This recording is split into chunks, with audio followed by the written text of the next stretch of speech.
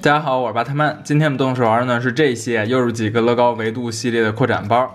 我记得去年还是前年的时候，我们已经做过一期节目介绍过这个乐高维度扩展包了。然后那个时候呢，乐高官方就已经宣布终结整个这个维度系列产品线了。然后直到今年呢，二零一九年，德国这边超市里边呢还能见着这个扩展包在卖。可见当时这个系列呢确实卖的不怎么样啊，然后直到现在呢，这个超市里边货源还非常的充足啊。现在每个扩展包的价格呢，我觉得还算是挺划算的，里边呢包含了一个乐高小人儿，还有一个非常简单的乐高积木搭成的小玩意儿。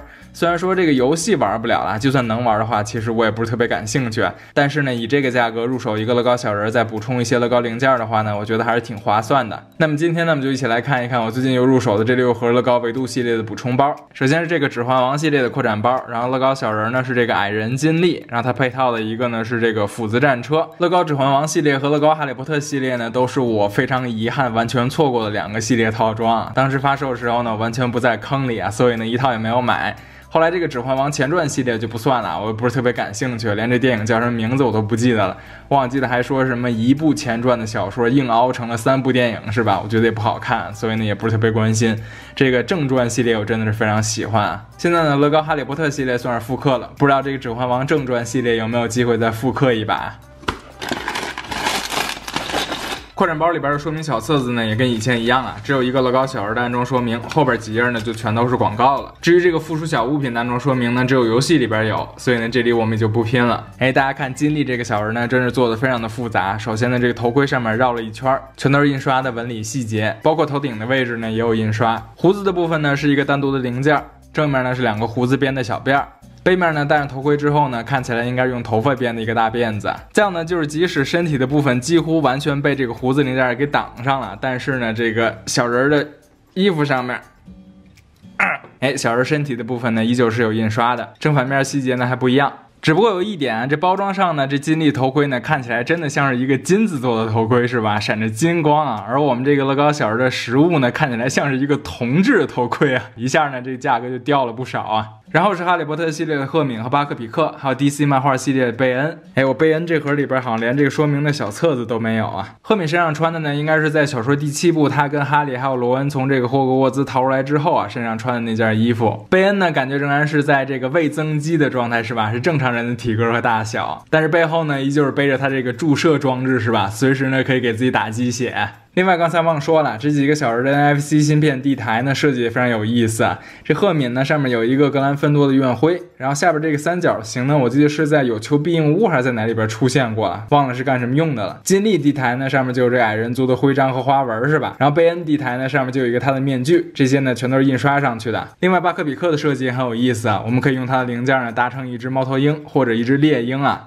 在乐高最新推出的哈利波特系列套装里边呢，也出现了一只巴克比克，而且呢，因为那只巴克比克使用的是定制零件，所以呢，比我们这只好看多了。有机会呢，也给大家介绍一下。然后呢，是我们的飞天小女警系列，哎，难得啊，这三个主角呢全都凑齐了。而且呢，因为我们左手这一套呢是有两个乐高小人啊，所以呢，售价也稍微高了一点，是九块九毛九，不是六块九毛九了，贵了三欧元。但是多了一个小人，还多了一些积木，我觉得还是可以啊。那算了，我们直接把这个包装给撕撕开吧。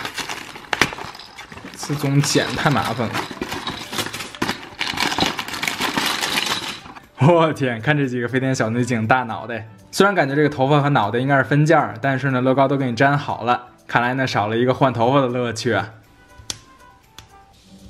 哎，我记得小时候看过这个飞天小女警动画片啊，好像还是这个中央六电影频道演的。但是说实话，现在呢我都不记得这三个人哪个人叫什么名字啊。这几个乐高小人呢，全都是使用的这个异形脑袋呀，不是那个传统乐高小人的那种圆柱形的脑袋。哎，这种设置呢，让我想到了以前我们介绍过的这辛普森一家，那里边的高小人呢也全都是这个异形的头，感觉做工设计什么的都是挺讲究的。不过别说这脑袋大小和身子的比例呢，还挺接近于原作的设定的。哎，三个小人底座上面呢，分别写着 Pow、Zap、Bam，这些呢都是我们经常在美漫里边见到的拟声词。最后一套是我们这碟中谍系列的 Ethan Hunt，我们这阿汤哥。哎，真的，如果要不是因为这个维度系列的话呢，真的很难想象我们这乐高呢能和这碟中谍系列呢合作推出一款乐高小人儿啊！真的要特别感谢这已经凉透了的维度系列产品线。不过因为我们这套呢是 Level Pack，里边呢包含了新的游戏关卡，所以呢即使我们这套里边只有一个乐高小人儿，但是呢售价依旧高达十五欧元，比我们刚才这两个小人的飞天小女警系列呢还要贵。